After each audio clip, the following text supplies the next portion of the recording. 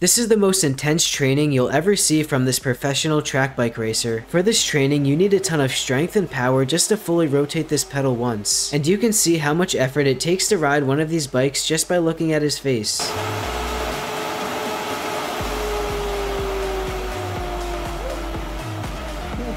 Would you ever try this?